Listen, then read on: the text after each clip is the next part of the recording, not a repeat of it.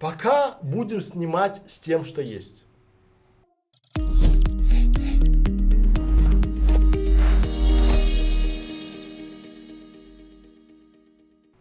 И вы сидите в темной, темной комнате, сидит темный, темный человек, и он вещает темное, темное что-то видео.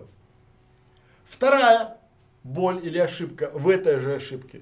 Вы считаете, что надо купить дорогой свет, ведь света много не бывает. Я с вами не спорю ни разу. Света действительно много не бывает. Классный свет это хорошо. Но это две ошибочные, то есть свет должен быть, освещение должно быть хотя бы приятным для зрителя, для вашего, это важно, да? Но покупать очень дорогой свет в начале пути, ну так себе затея.